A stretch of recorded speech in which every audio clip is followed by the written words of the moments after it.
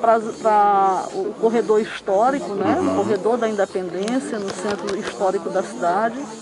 E na última semana foi a, a, os desfiles das escolas do campo, nos polos.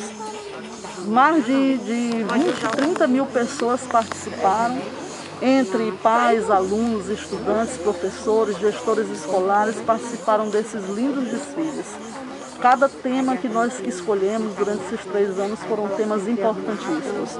E o último foi da inclusão, a importância de incluir pessoas com deficiência em tudo, inclusive nos desfiles de 7 de setembro. Então foram momentos assim emocionantes, foram, foi um tempo muito bom.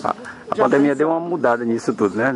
A pandemia mudou, mas ela tem suas vantagens, né? Exato. A vantagem hoje é estarmos hoje para o mundo, a nível de rede social, estamos no mundo, o mundo inteiro vê Caxias nesse momento de desfile. É verdade.